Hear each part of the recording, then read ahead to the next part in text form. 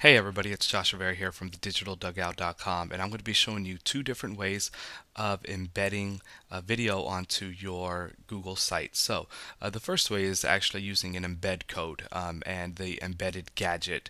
Uh, so get to get started, let's go ahead and um, take a login. I've already logged into Google Sites, uh, excuse me, Google. So I'll click on Sites to um, locate the site that I want to embed a video on.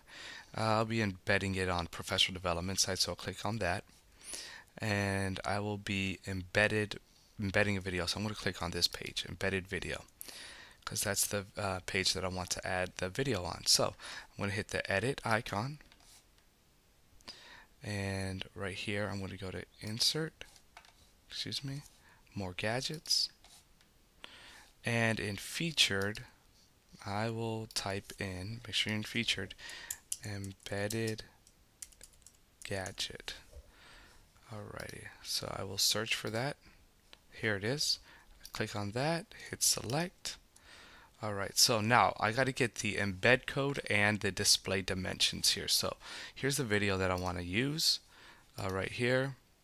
Um, and excuse me. A lesson plan. Um, um, the first pause that.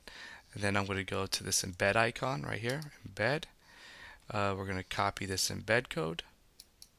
Okay, and we're going to make sure that we write down these dimensions 620 by 349 because we're going to need that when we um, set this all up. So uh, we're going to copy and we're going to paste the embed code here.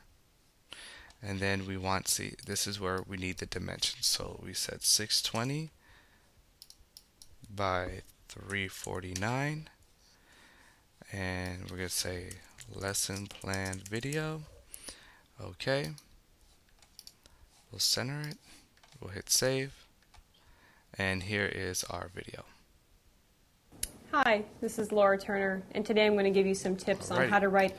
So uh, the next site, uh, excuse me, the next way we can embed a video is through iframe. Um, now um, we'll click here. Uh, what's nice about iframe is it allows us to actually embed an entire website within this little content area here.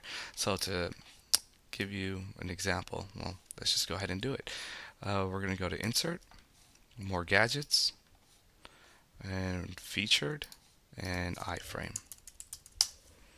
And include a gadget iframe, select, now we're going to get the URL of this video here. So we're going to copy all this, Command C, come here, copy it here, paste, okay?